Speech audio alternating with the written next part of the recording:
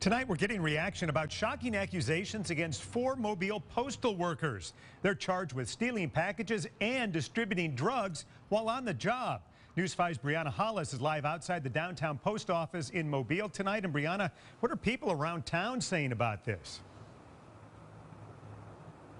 Well, Peter, we saw several people out here this evening dropping mail off in these boxes right outside the post office. And when we told them about these charges, one, they were extremely surprised to hear that.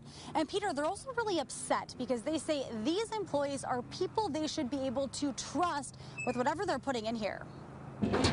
It, that's scary to me that we trust these people to deliver what could be expensive items. Amanda Lawrence dropped her mail off here in Mobile just hours after the news broke that four Postal Service employees were charged with embezzlement and drug distribution. Well, as a business owner, obviously, it, it, that is even more important because I'm, I'm mailing things to retirement plans for our employees and, you know, that type thing. Is, it, that is scary. Her thoughts reflect those of U.S. Attorney Richard Moore. He says in a statement, most postal workers are honest and conscientious about their work and they would never become involved in these kinds of crimes. The citizens of this district should not have to worry about whether the U.S. mail is being compromised and particularly by employees of the U.S. Postal Service. The four charged are 33-year-old Ontario Rogers, 26-year-old Devon Donald, 25-year-old Shambria Hill, and 26-year-old Charday Martin.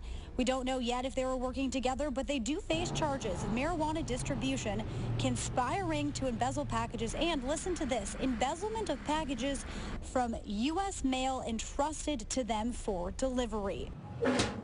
The state attorney's office says Donald stole six packages, Hill stole three, and Martin stole five. Now, at this point, it's still unclear how exactly they were able to get these drugs through the postal system, but we did take that question straight to the Postal Service. We're still waiting to hear back from them this evening. Reporting live in Mobile, Brianna Hollis, WKRG News 5.